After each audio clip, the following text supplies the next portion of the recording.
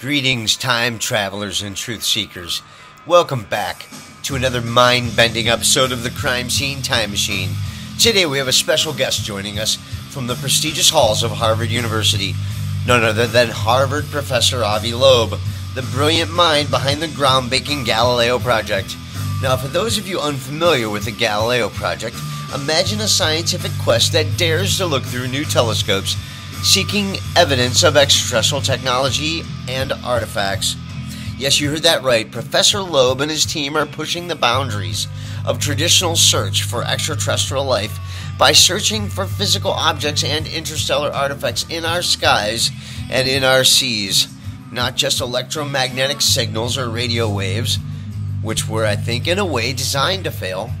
The search for extraterrestrial artifacts, as pursued by initiatives like the Galileo project led by Professor Avi Loeb represent a positive and hopeful endeavor that contrasts starkly with the war torn world in which we inhabit.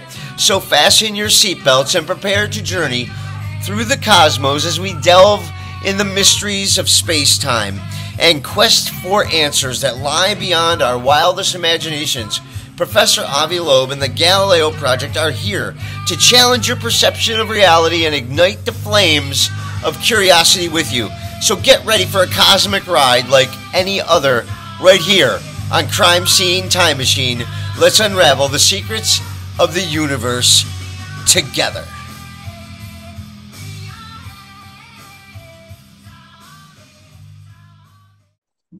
The peaceful quest for intelligent life with a unified purpose gives humanity hope for a greater understanding of our true nature. If anything can be said about mankind, it is that we are explorers.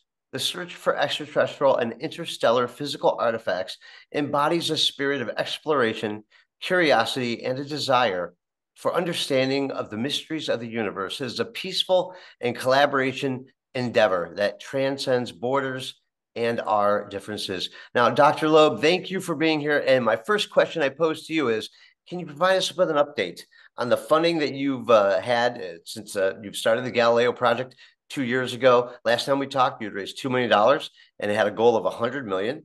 Uh, you had built two of these new mobile telescopes for UAP documentation. And my question is how many do you have now? Where are they deployed? And what have you captured?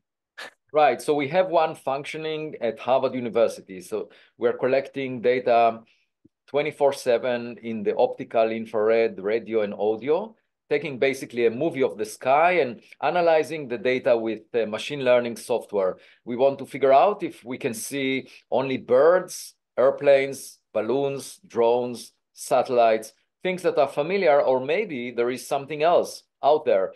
And we've looked at hundreds of thousands of objects over the past few months.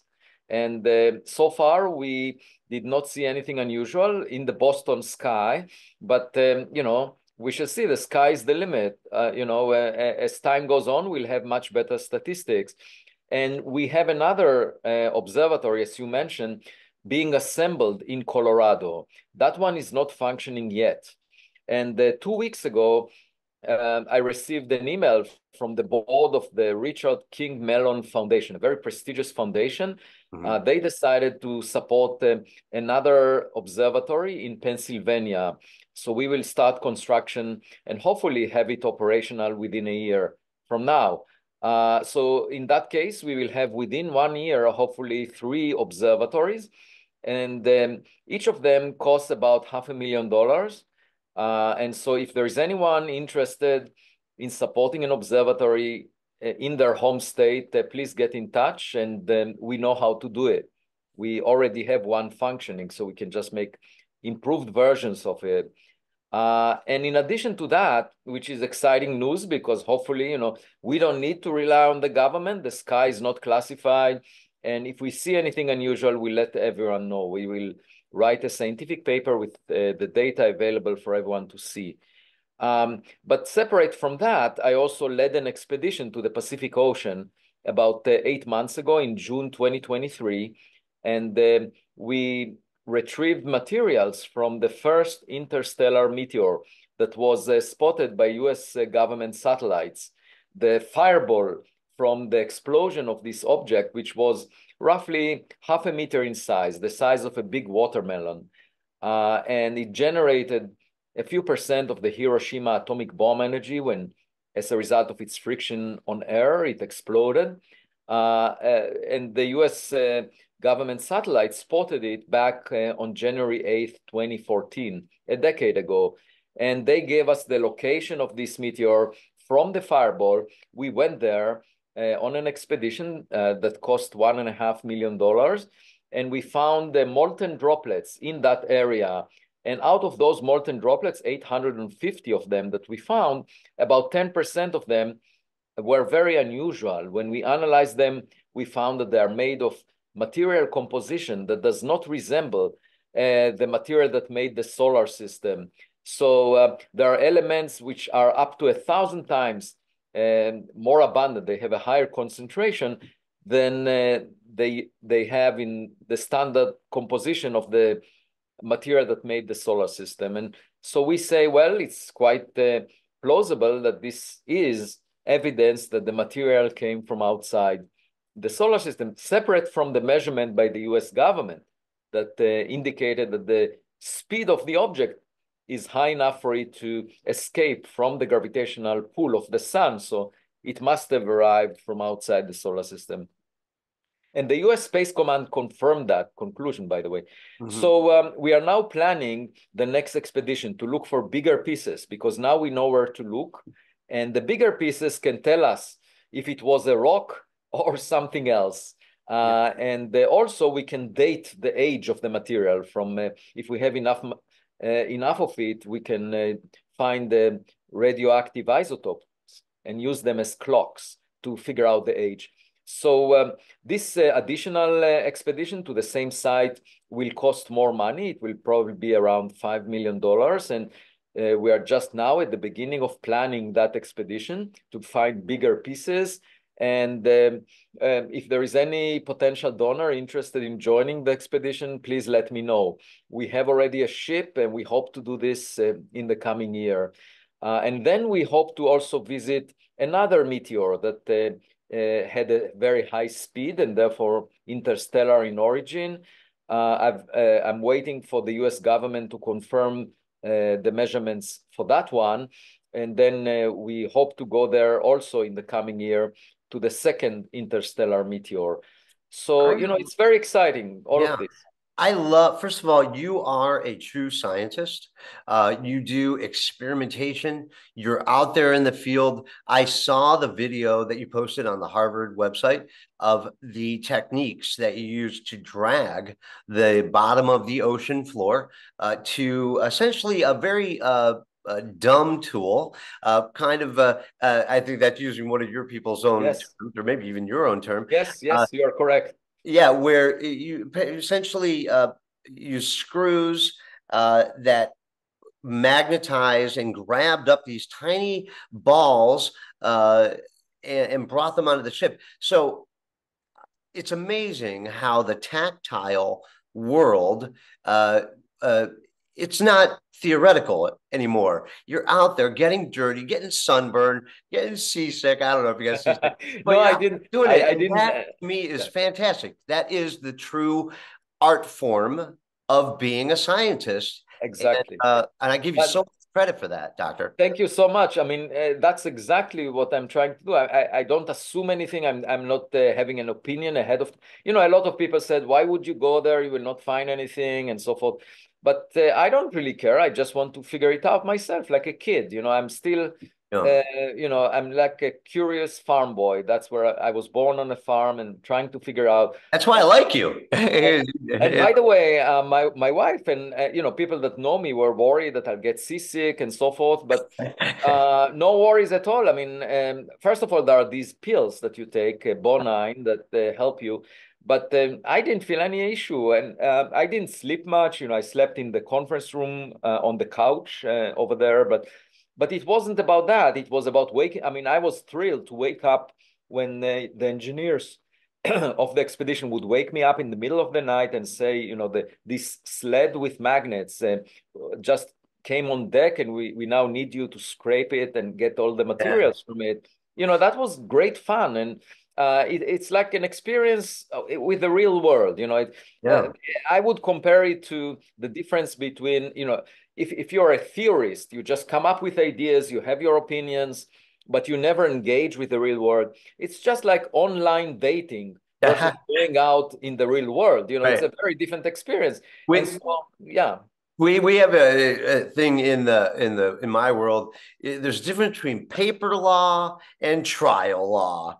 What you write down on paper doesn't always work in the courtroom. And just like science, you know, I do all kinds of physical experimentations. Right, we we shoot bullets through uh, mannequins to see how blood spatters. Right, physical dynamics, and sometimes we mess it up, and we we have to buy new materials because I, I didn't shoot it the correct way or or the or I have to tell my client. Well, it's a learning experience. That's the way yeah. to think of it.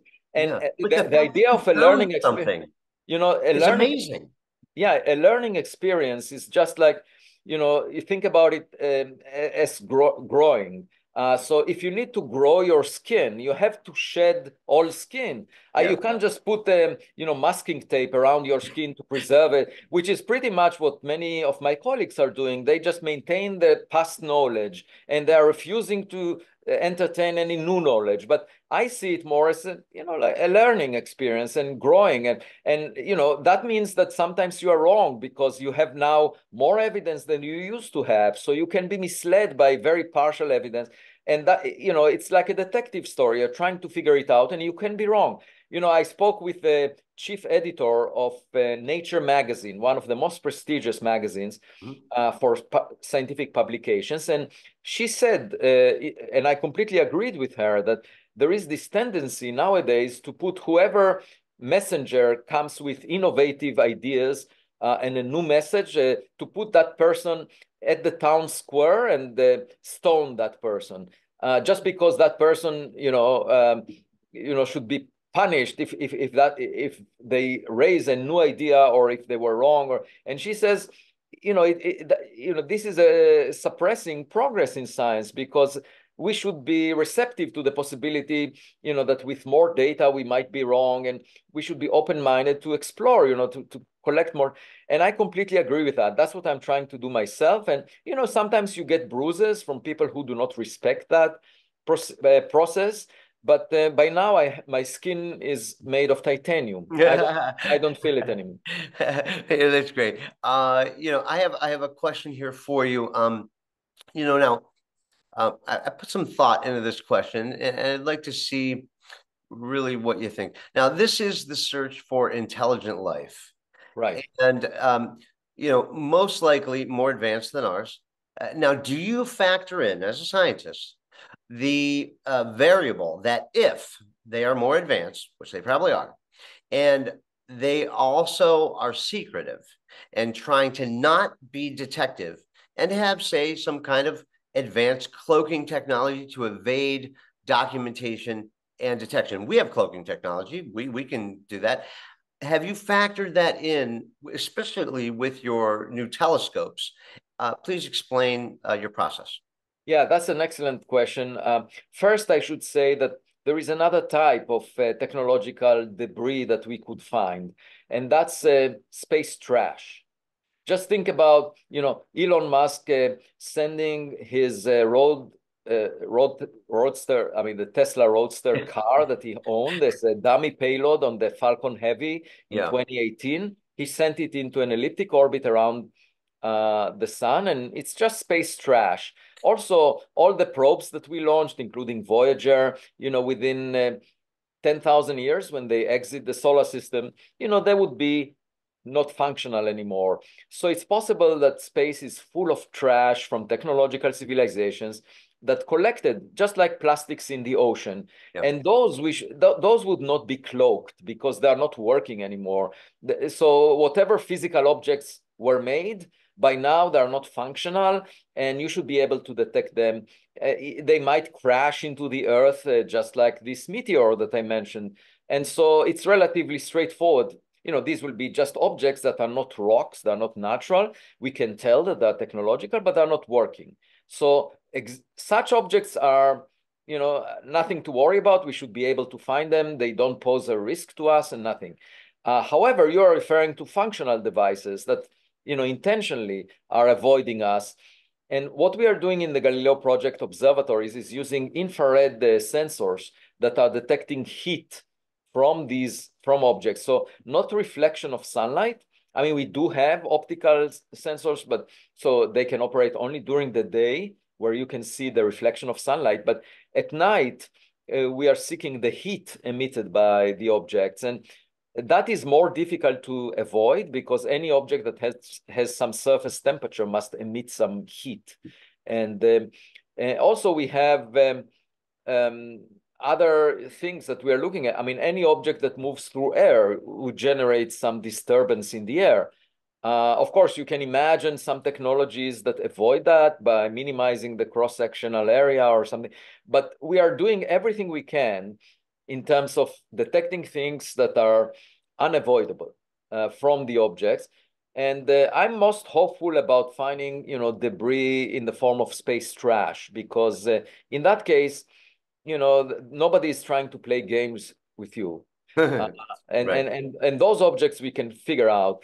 Uh, as you say, I mean, it's not just cloaking. I mean, if you imagine some advanced propulsion methods that they do not use fuel and use some uh, manipulations of space-time and so forth, you know, then, uh, you know, that would be difficult to, to detect. There, there will be no exhaust heat. Uh, however, they might generate gravitational waves, for example, and you might go for that. We don't have such things in the Galileo project, but there is the LIGO experiment. There are other gravitational wave detectors that will be monitoring um, the sky. So in, in, I hope that even those would be detected. Now, I have a question for you. Uh, I remember in our last conversation, um, you made the analogy of, uh, uh, and I love the analogy. Uh, if you never go outside of your house, you would not know if there was neighbors there. It's like standing by the sea and saying, "I don't see any fish," but you don't throw a fishing pole out there. Now, uh, what? And I don't know if this is something that you would consider, but when you are searching for, say, active, uh, or I mean, because obviously that would be the home run, right? If you catch an active live, uh, you know, craft in our space or near Earth or whatever. Um, Carl Sagan, I forget back in 70s, uh, had uh, put together that CD, that gold plated record, basically. Right, on Voyager. The communication, yes. right? Right. Would there be a benefit, hypothetically, I mean, you know, to project a question. Hey, this is Harvard. We're I'm Avi Loeb. We want to detect you some kind of a signal, a message saying we are peaceful. We just want to see you.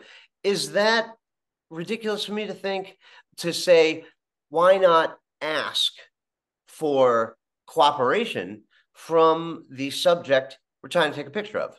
Well, that's very interesting. Uh, um, I haven't thought about that. Uh, there were uh, in the past attempts to transmit a signal. There was um, about um, uh, 50 years ago, there was a transmission towards uh, a star cluster from uh, the Arecibo radio telescope. Mm, the only problem is that they sent a transmission towards a group of, you know, a, a, a cluster of stars in the sky, but they forgot to, to include the fact that this cluster, by the time that the light signal, that the signal, the radio signal would reach the cluster, the cluster would move away from the direction they were pointing. They forgot to include that into. And then in, the time back to respond too, right? yeah, that, you know, that will be so much in the future uh, because, you know, it's like tens of thousands of years from now. So um, there were people who tried to message. It's called METI, the messaging. Uh, uh, other uh, intelligent civilizations. But uh, the problem with that, if you imagine them being at distances of stars, you know, the, then, you know, and if you want to be able to reach, let's say, thousands of stars, you know, it will take more than um, several centuries for the light to get there and then you need to wait several centuries, as you just pointed out, for anything in response. So we just didn't have that time. You know, the first radio transmi transmission was only 120 years ago, so uh, we just didn't and there are only hundreds of stars that could have received it by now, just to, to realize that we are transmitting, not even intending to communicate, but just transmitting. So, so I would say it's um, the the time. The problem is the time. Uh, the pay that you have to be really patient. Yeah. Patient. Um, um, but um, on the other hand, you might have a, an operational uh, uh, opportunity uh, with a nearby gadget. If you have something visiting Earth, it's just like having a visitor to your backyard. Um, in that case, there is urgency because um, you have to decide what what is the intent, what is the purpose of this visitor in your backyard, mm-hmm. uh, whether it's peaceful or whether the visitor is seeking something, because then you might tell the visitor to go away. Um, and so uh, the protocol for that is quite complicated depending on what the visitor is doing. And uh, you're right that um, in principle we could invite visitors to our backyard uh, from from the visit like if there are functional devices within the within the solar system we can transmit a signal saying come over you know get into our backyard and we or even um you know uh, like uh and, and, i know this is this is just i i sample all kinds of things right? Because i digest it i love the subject uh, I find it fascinating. It I think it piques my curiosity in so many different ways. I, I deal with murder every day, and something like this is just such a breath of fresh air uh, to my soul, to my heart. Uh, and somebody like you, who is childlike in their nature of, of curiosity, um, the uh, just the intention uh, of a localized uh, thing. You know, if they're already in the backyard, let's say they are here and they're local and they're already here yeah. why not say, hey, that's I, a good point. I would like to, you're already here, you're already inside the fence. Let's um show yourself. Yeah. You why see, I, uh, that, let us uh, take a picture of you you know i learned something new today and thank you for the idea the yeah that's an interesting point uh, if they're already nearby it would be worthwhile uh, i mean previously people thought about the great distances of stars but if there is something nearby you're perfectly Correct. You know, like I'll give you a, a, a metaphor, an example, an anecdote. Uh, there was uh, one day my wife uh, comes to me and says, There is someone on the street watching our home, and he has been there for about uh, half an hour. And maybe it's one of your fans. Why don't you check? So I went there and I said, um, Hi, nice to meet you. Why are you looking at our home? And he said, uh, I used to live in this uh, home uh, uh 50 years ago, uh, and I said, "Oh, that's that's great to know. Why don't you come over? I'll show you the backyard." And we did some work there, and and then he told me that they buried a cat named Tiger in the backyard. And I said, "Of course, I know this name because I saw a tombstone with a tiger printed on it. Yeah. Uh, and uh, I was worried that it's actually a real tiger buried underneath. uh, anyway, so he um, so he told me something about my backyard that he knew about because he used to live before I came to that place, and yeah. to me it illustrated the the notion that we should be welcoming visitors because they may know things even about the solar system from a long time ago, before humans came to exist, and they can educate us. And my conclusion from that encounter is be kind to visitors, to aliens. Um, and uh, in the spirit of what you said, we can just invite them to the backyard and to have a conversation if they're around. You know, if yeah. they're too far away, it will take a while. Well, I don't know. You know, I don't know if I would want to call to the cosmos and just this black hole, hey, we're here. Uh, that might be dangerous, right? But I'm just saying, if they're already here, a local right. signal, right, saying right. we're peaceful, and, yeah. and, so as long as they, as long as they can interpret, idea, as long as they can figure it, uh, interpret the language uh, that we speak. Of course, that's the first barrier is really the language, and um, I, I, liked in particular the, I mean, I don't like science fiction, but The Arrival is a movie that I really enjoyed. Yeah, and it's all about communication. And not surprisingly, it's a woman that uh, manages to communicate better with uh, the alien civilization that comes to Earth in that film. And as it turns out, the producer of that uh, film is now working with me on a documentary for Netflix. Hopefully, nice. it will come out uh, in 2025. It's about my work. It's about my the expedition that I went to, and it should be fascinating to watch because they came with me to the expedition. Well, I love the idea that your exploration of space ended you in the water. so as we look up, you know, it's down here, right? Um, it reminds me of a joke, the, the interstellar communication. So if aliens came down here and and you know they saw, you know, like, hey, uh, you know, people on Earth, uh, they're real weird. I couldn't understand what they were talking about. Uh, they tried to talk to me through interpretive dance talk about uh, close encounters of the weird kind and then they leave you know and the yelp review for earth would be uh, a lot of water too many kardashians two stars uh, so uh, yeah but uh, i should i should say that actually we do interact with uh, our cosmic neighborhood and in fact i have a new paper coming out in nature magazine with a colleague of mine and in it we show that the earth might have passed through a very dense cloud um, you know, from in the interstellar medium uh, about two to three million years ago. Hmm. And uh, it was so dense that it basically removed the protection that we have from the heliosphere. The heliosphere is uh, basically the wind coming from the sun that uh, goes out and protects us from the interstellar medium, from cosmic rays. From uh, and so, as a result of this dense cloud, that protection shield that we usually have shrunk and uh, we were not, the earth was not protected. And that could explain some changes uh, in life on earth two to three million years ago. Interestingly, that's roughly the time when the human uh, species started to uh, appear here on earth.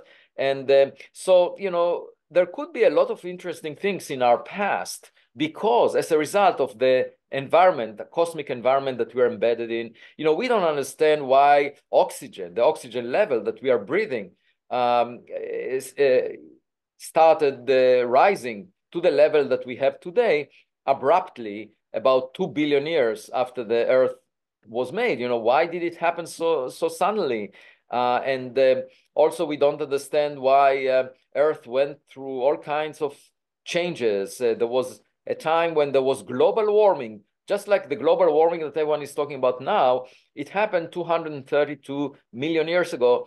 And we see all the signs of a global warming event. Yeah. Is it possible that we didn't have were... cars back then, did we? Sorry? Yeah. I don't think we had uh, gas guzzling vehicles back then, did we? not we, but the what question are you trying is, to say, Dr. Question is, uh, global warming a, might not uh, be man-made, or it might, yeah. It, it, it, people think maybe it was geological or a meteor impact, mm-hmm. but uh, just imagine the possibility. I mean, this is just six percent of the age of the Earth. Yep. We're talking about the last six percent, two hundred thirty-two million years ago, and you can ask uh, you know, is it possible that something like us existed before us? I think it's who knows. We would not notice it unless the you know we would somehow. Know. Yeah, we wouldn't notice. We wouldn't know because you know it, I, have, I have two questions, one observation and then one question. Um, my observation is you're right. Uh, you, they've looked at like Chernobyl, right? Once mankind stops um, building and maintaining, the jungle takes it back. And it doesn't take long before there's no signs of us left. Right. Well, Every that's true. would crumble and all that. Now, my question is this: uh, what you said very before really piqued my interest about us passing through that dense cloud. Now, April the eighth is coming up, and um, this will be a solar eclipse. Uh, uh, I think a very unique one. Um, where many things are happening. It's also the the uh, we're moving into Aquarius, right? Uh, from the uh, a rotation, we've got this uh, internal uh, uh, wobbling of the Earth. The Moon seems to be off. We've got a a bottom crescent to this moon. My question, and I've never seen that before. I'm 53. I've always seen the stages of the moon to the side. Are we going to experience on April the 8th something we've never experienced in human lifetime before? Well, there, there is always uh, something new because uh, the moon is moving away from the earth you know actually the moon was made as a result of an impact uh, on earth uh, of a big object that spun up the earth and the initial duration of a day was just four hours so mm, just oh think about it wow. if we were to live back then day and night would change wow. every four hours wow uh, that will be the so duration. the moon being here is what gives us our 24 hour rotation so no yeah so the moon moved away from earth and hmm. took oh i see it's because and, and, and, spun yeah. down the earth because um, there is conservation of, of, of rotation of, of angular momentum so the moon took away the spin of the earth and the earth slowed down to 24 hours a day uh, and initially it was spinning much faster by a factor of six um, and then uh, as the moon moves away, you know, it, it slows down its its uh, motion away from us. But uh, the fact that there is an eclipse of the sun is a complete coincidence.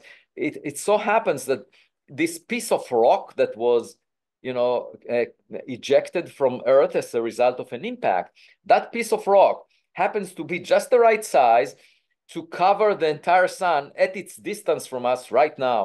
And if you wait a few million years, it will be smaller than this angle of the, that the sun occupies in the sky. So we will never have a lunar eclipse in the distant future.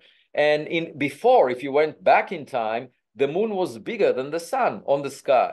Okay, so it's just an interesting coincidence. You might ask, why are we living at a special time when the moon is almost perfectly the size of the sun mm. on the sky? And you know, who knows? It's not clear. Um, and um, what I would like to say is that everything changes. You know, like the sun will die in about uh, 8 billion years. Uh, so when I jog every morning at sunrise, you know, I do that. Uh, I did it also on the ship when I was on the Pacific Ocean. And, um, uh, you know, I realized that it's all temporary. You know, I will not be around in a few decades. The sun will die. You know, everything changes all the time. In the do you know what will be around? your what? work, your legacy, the the what you've left behind, Dr. Loeb, will be behind. Well, that's what will that, that is so important. Our legacy, what our contribution is to society. Are we a good representation of what humanity is. I think you are. I, I, I uh, and coming from Harvard, you're not willing. You're not worried about getting your hands dirty and going out there and do it. And I give you a lot of credit for that. And I have a, you brought up the moon. I have a question for you about the moon. Okay. Okay. So the moon is approximately one third the size of planet Earth, and it is tidally locked to us. Right. Now, I don't believe that Earth's gravitational force is strong enough to tidally lock something one third the size. Therefore, I have a hypothesis that the moon might be, say, hollow to a degree, because I remember when NASA deliberately uh, crashed a spaceship into the moon. I think after one of the Apollo missions, they ejected something into the moon for an experiment, and it rang like a bell. Is that why we are we the the moon is tidally locked to us? Well, uh, I think the moon, um, uh, because it uh, came from Earth, initially it was so close to Earth that it was relatively easy to tidally lock it. Uh, and by now it's already locked. Uh, but but once you're locked, you're locked for good. You can't start. You can't change it. But okay. because um, it's you know when it was close to Earth, it was uh, close enough for this to happen. and um, you know, we are obviously, if we settle on the moon, we can do a lot of experiments uh, of seismo seismology, you know, like uh, the vibrations uh, could tell us what's at the center. We do it on Earth when we monitor seismology, you know, the seismic noise, we can tell how, you know, as the sound waves propagate inside the Earth, um, you know, what is the core of the Earth made of? And uh, in the same way, we can uh, figure out what the moon is made of. And you know th there is a lot of exciting work to do by the way because the moon is also a museum. Anything oh. that uh, collided with it did not burn up in any atmosphere there is no atmosphere to the moon so it obviously assembled on the surface. And uh, it's just like a museum. It collected everything that impacted it for billions of years. And we can look for you know, artificial objects, uh, maybe the space trash that I was talking about is out there. Out yeah. There, right. There, there has to be, you look at all the craters on the moon, it's just, right. I, essentially the moon might be responsible for shielding Earth from destruction. How many millions of times in the past, by every crater, it's absorbed that protects right. us. It's almost like our shield. It's like our bodyguard. Yeah. Well, uh, the moon is indeed uh, full of craters, the Earth not as much. And the main reason for the Earth not to be so injured as the moon is, is because of the atmosphere. The atmosphere burns up uh, rocks that are smaller than the size of a person. So it basically uh, mitigates the damage from the most common rocks that are smaller than the size of a person. They just disappear as a result of the fireball that they produce. And uh, we know that because, uh, you know, many of them explode about 40 kilometers uh, in elevation, way above the, the ground. And you don't see a signature on the ground as a result because they already, you know, get decimated high up. For the one and, you found in the Pacific yeah. which... well, that one was uh, very tough and uh, maintained its integrity down to 20 kilometers. And that's why we are so excited about it. Um, and we hope to find something. Yeah, I thought it was brilliant. Let's talk Oumuamua. Is it back? Uh-huh.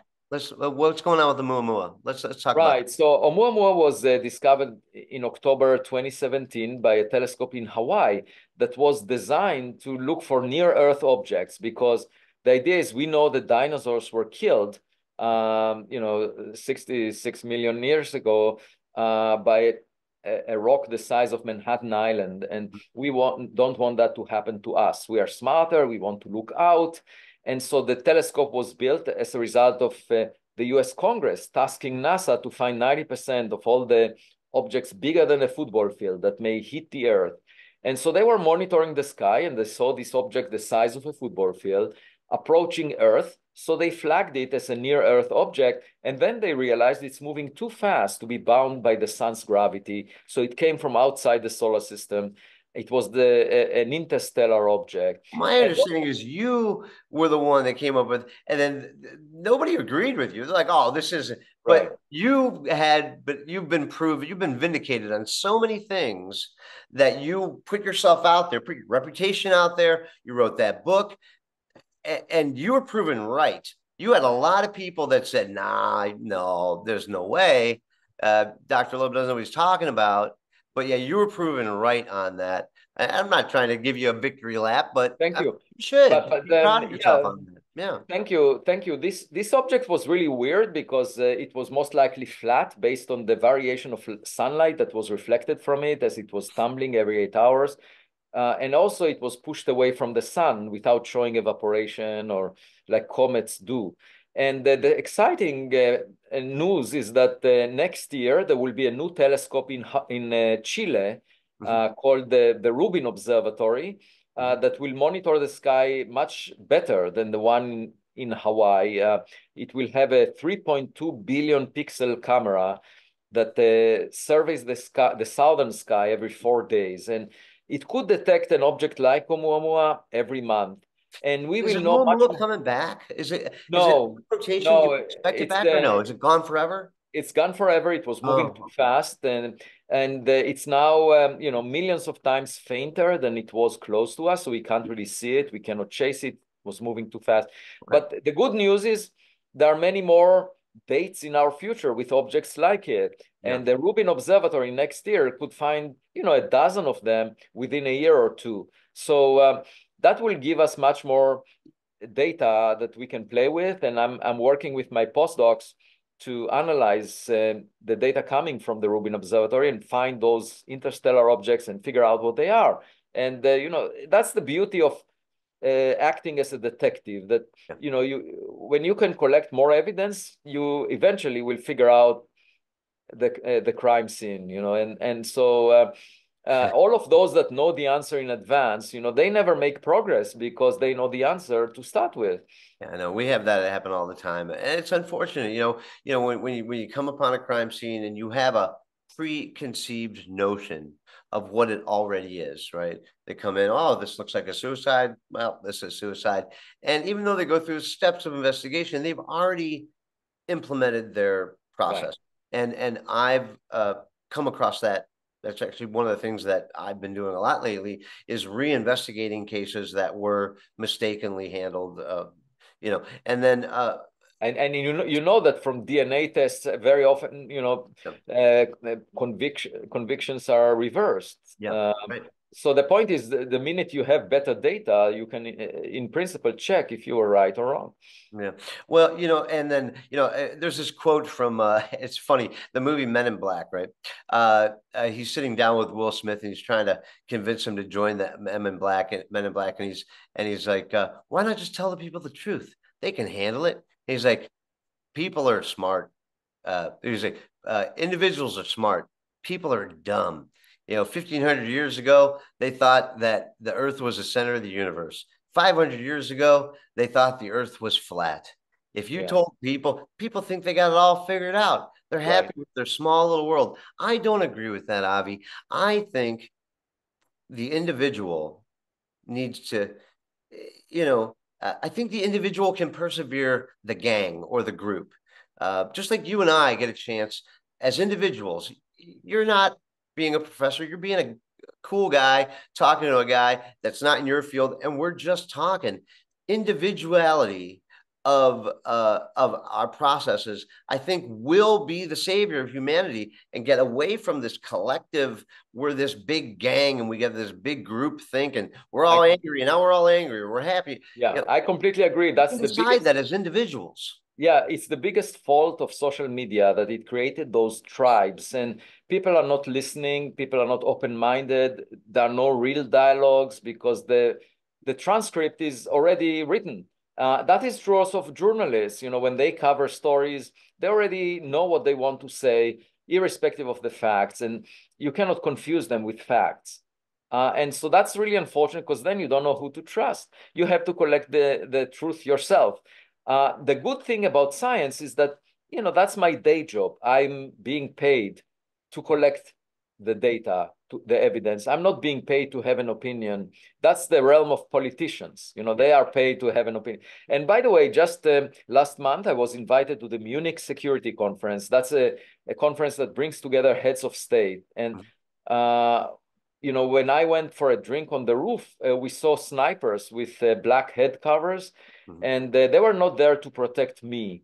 They were there to protect Volodymyr Zelensky, Kamala Harris, uh, all high level politicians that were there. And uh, it just shows you that uh, as, my, as controversial as my work may be, uh, I'm not as controversial as politicians are. Uh, yeah. even though I talk about extraterrestrials. So, you know, in, in, and the fact that it, they invited the scientists to speak about space was really reassuring. I also, a day later, went to the birthplace of uh, Nicolaus Copernicus. Oh, wow. Uh, cool. uh, that's Torun in Poland. Uh, there was an event to celebrate 550 years to his birth, and they wanted me to give a keynote lecture, and I titled it uh, The Next Copernican Revolution. Uh, the first one was that we are not at the center of the solar system, the sun is, and the, the next one would be that we are not at the intellectual center uh, of the universe. Uh, there might be a neighbor that is smarter than us. And, um, you know, I, I, I, while visiting there, I realized that uh, Nicolaus Copernicus was actually a priest. He didn't want to rock the boat. He wanted to help the church. And the church had a problem. They could not predict when Easter takes place and they had a model in which the earth is at the center and they always got it wrong by a few days. Yeah. and so copernicus said well let me play with this model. And he realized that if he puts the sun in the middle then he gets perfect agreement and it all works out. So he told the church look i have this model that you can predict easter by putting the sun in the middle of the solar system. And they said great. Uh, we will use it because it helps us predict when uh, Easter takes place. But you have to realize that this, the Earth is still at, at the center of the real uh, universe. In reality, it's just that this model somehow helps us. And so they banned this book, and uh, it was a forbidden book until the 19th century. And he was so careful not to publish it. He only saw the bounded copy of his book on his uh, deathbed when he had a stroke. Yeah. And uh, so, you know, it, it shows you that uh, he had the integrity yep. to argue that indeed uh, what he believed in is incorrect, that in fact the sun is in the middle, and he didn't dispute the data. He accepted it, and that's why we remember him now. Right, and, and you know uh, that I think teaches us a lesson that uh, we should not be bound by dogma, and, and it's the dogma of man, uh, and and I don't mean that in a spiritual sense. I mean I'm I'm a Christian, uh, and Easter to me uh, whether you believe in God or not, it doesn't matter. Everybody's religion. I, I love all people, but whether you believe in God or not, to me, Easter is the rebirth of who we are as people. We have an opportunity, it's, it's a metaphor, as an opportunity to uh, rebirth ourselves in, in the best version of ourselves. And every year it gives me a reminder okay, this is my new year. This is my new birth to be a better version of me. And I'm a better version of me than I was the last time I talked to you. Exactly. Um, and it's a growth it's a process of growth, uh, growth and yeah. um, you know just like uh, in order to grow i mean science is a perfect example. You it's a learning experience. Uh, you know if you have more evidence you can substantiate uh, one truth uh, and, and eliminate ideas that are not correct. And so it's a growth. And and you know when we want to our skin to grow you know, we shouldn't put a masking tape to just uh, keep the old skin. We should shed it off and develop new skin. And and yeah. um, you know, so we have a tendency to maintain past knowledge. And you know, in academia, it's very clear. You see those uh, echo chambers where people amplify their voice just uh, to maintain prestige and develop an ego that maintains, you know, like how important they are. but um, being a scientist is more like a kid you know it's not about your ego it's about uh, being uh, curious and and and just learning from data and experience and trying to if you don't search you will not find anything. That's the, the very simple fact. And and you should never pretend to be the adult in the room as if you know the answer in advance. Yeah. let's all let's all be curious and enjoy the process. And um, uh, you know we will all die eventually in a few decades. So in the meantime, you know, we the best we can do is learn more about our environment. Yeah, and, and I agree with what you said there. Now, uh, listen, I've been a consumer of all things science since I was a little kid. I loved Carl Sagan. He was one of my favorite people. He made me interested in the cosmos. And and um, the guy that took over for him or was appointed the new Carl Sagan was Neil deGrasse Tyson. And uh, I recently did a podcast called Not Everybody Knows Everything right? And it was my criticism on NDT. And what I believe is his ultra skepticism, which almost prohibits curiosity. Right. But uh, you have to, you have to understand.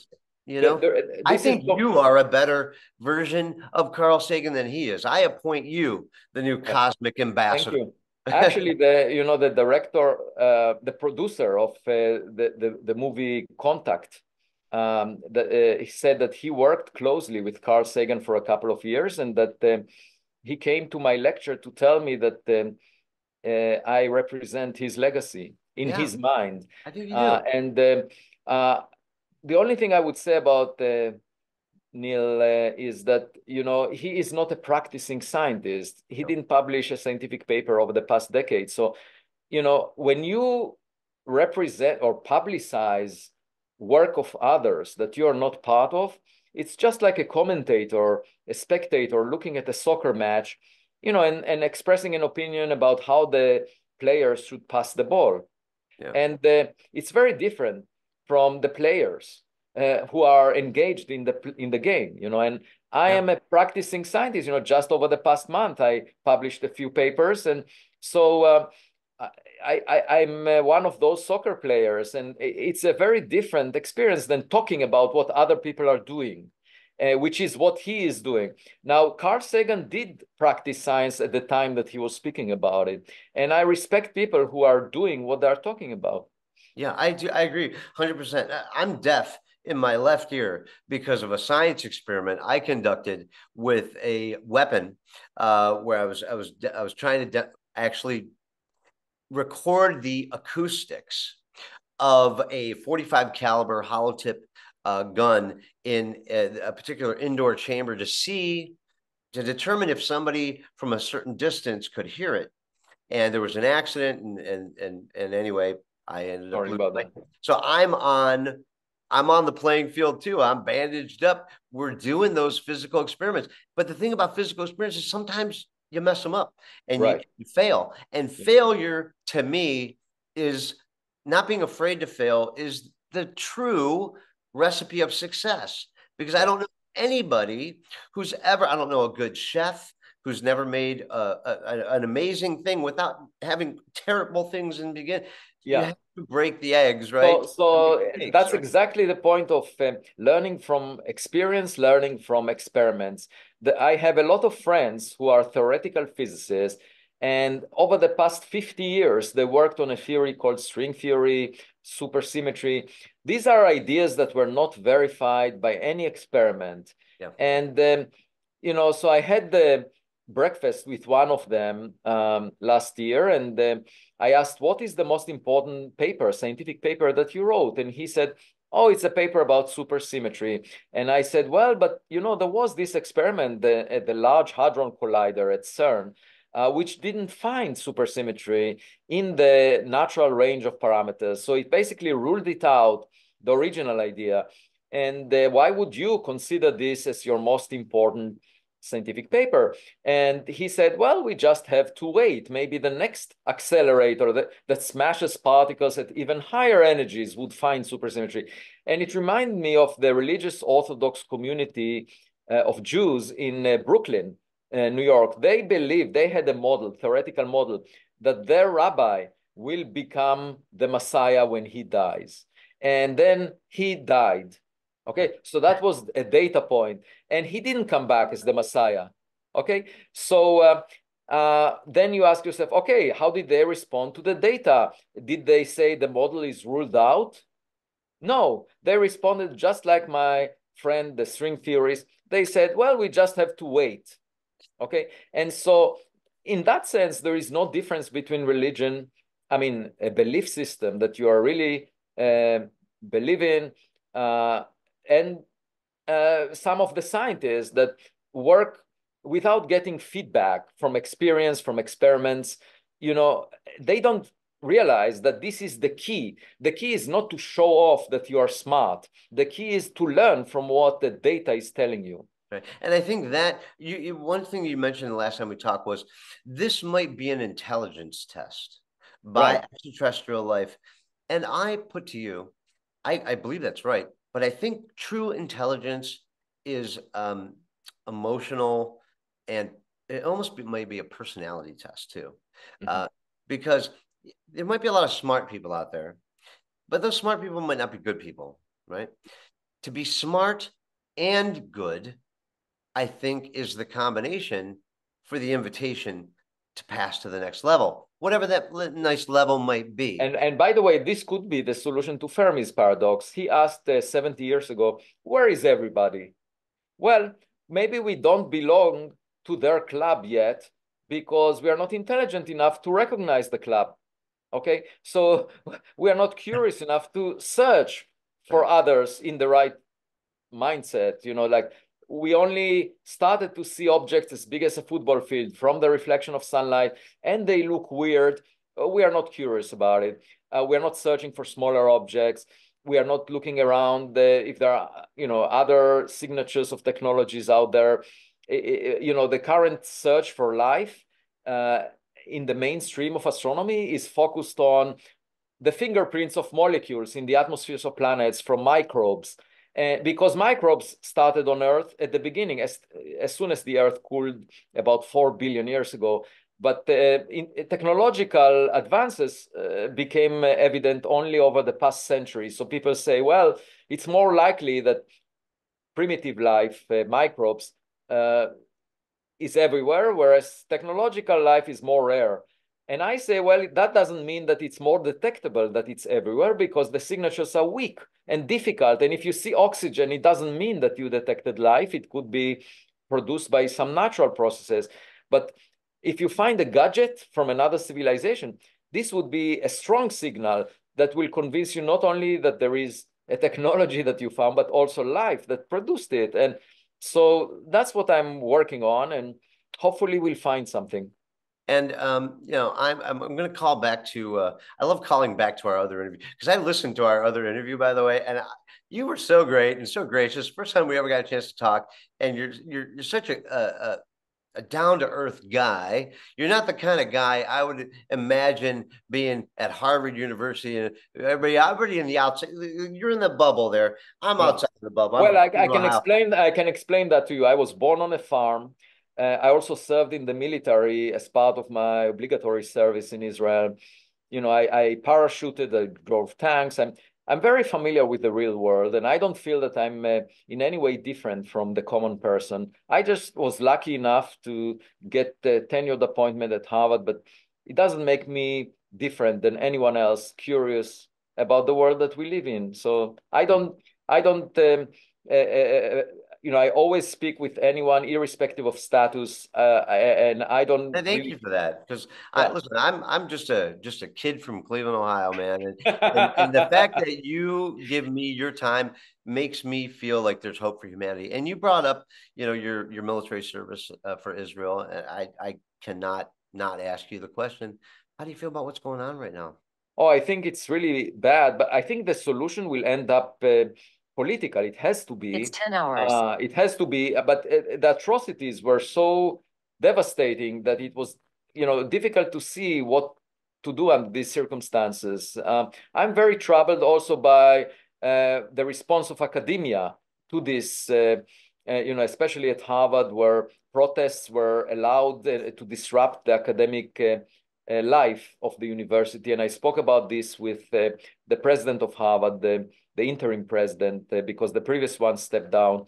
Uh, I spoke with him uh, just a couple of weeks ago and gave him eight points that I suggest of how to improve the future relative to the past. So it's all troubling, but maybe it's an opportunity for us to resolve the, the problem. you know, in, the Middle East by establishing new leadership over there, uh, you know, and uh, in um, academia by recognizing that what, what, what happened recently is inappropriate. Well, I appreciate I appreciate your your thoughts on that. Uh, and uh, let's get back to space uh, because um, you know I spent a lot of time on that issue uh, on some other episodes, and and I have one. Uh, I know you got to go, uh, so yeah. if I can get one more question out of you, sure, I will release you. and okay. I, I really appreciate it. Now, in our previous conversation, you highlighted the importance of possibly using AI for the search for inter, inter, uh, stellar artifacts. And now, uh, considering Elon Musk's uh, recent cautionary observation about AI potentially developing its own bias akin to summoning the beast, how do you envision navigating the intersection of AI and singularity and potentially having its own agenda that might diverge from human interests? Yeah, so frankly, a lot of people are worried about the future with AI. That includes Elon Musk. It includes also a group of people that signed a letter to delay the uh, progress in developing AI for six months. If you remember, that happened uh, some months ago. Uh, and I find those uh, people who are really worried uh, as uh, not very good parents. And what I mean by that is you know, when you raise kids, and I had two daughters, you have to take into account the fact that these are intelligent beings that you cannot control right. beyond a certain age. So at an early age, you educate them. And so in the context of AI systems, you train them. And what you do with education is that you don't expose young kids to the crimes that happen everywhere you know at night in a dark corner of of of a, a city uh, you know, you don't do that. What you do is educate them on materials that you want them to cherish, to follow. Um, and so, you, you know, the training of AI systems need to be monitored just the way that education of kids is monitored. You give them the materials that would make them good citizens that will follow your guidelines, your basic belief system. And uh, then uh, you shouldn't become a, a, helicopter parent which happens to some uh, parents. They want to micromanage and control their kids. That's not a good approach either because the kids may rebel. So uh, in the same way, uh, when we have AI uh, venturing into the world and becoming independent because it makes its own decisions and learns from experience, you know, we want to treat those systems just as we treat humans that are independent of us. When our kids leave home, what do you do? Well, you try to advise them to do the right things. And of course, it could be sometimes dangerous. Some, you know, some kids become uh, criminals, but most of them not. Why? Because we are managing it through our education system, through our relationship with those kids. And when you develop uh, intelligent entities like AI systems, we should adopt the same approach. We cannot helicopter parent them, but we need, well, we need also to adjust the, the legal system such that you know, either they or the developers of those systems will be punished if they misbehave. So it's just if if a kid, uh, you know, misbehaves in a public place, the parents are being punished. The, the same should apply to the developers of AI systems in the early training stages. Uh, and uh, if later they become independent and do something bad, you take them out of the system. So the idea would be the legal system will have laws that basically uh, remove AI systems from the public domain if they misbehave.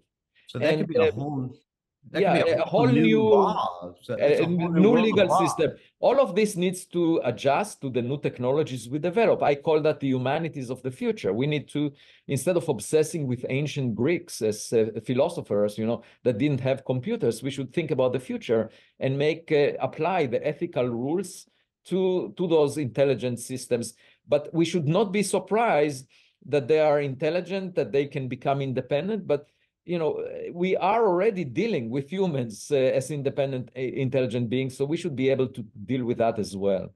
I think so. And thus, amidst the cosmic dance of questions and reflections with Professor Avi Loeb and the curious embarkment on a whimsical journey of discovery, bridging the divide between worlds and perspectives in the celestial symphony of wonder and knowledge. I say thank you, Avi Loeb, for joining us again on the Crime Scene Time Machine, and good luck and Godspeed on your investigation. And I hope you allow us to check in with you from time to time. Thank you so much. You made my day with some of your comments today. Uh, thank you, Avi. That that makes my day, my friend. I'm, I'm happy to call you my brother, and um, you know, good luck out there, man. Thank you, and uh, let's speak again in a year or so, or half a year, whenever you want. I, okay. I, I, I appreciate it. All right, man. A lot of love. Have a great day. Thank you. Bye bye. Bye bye.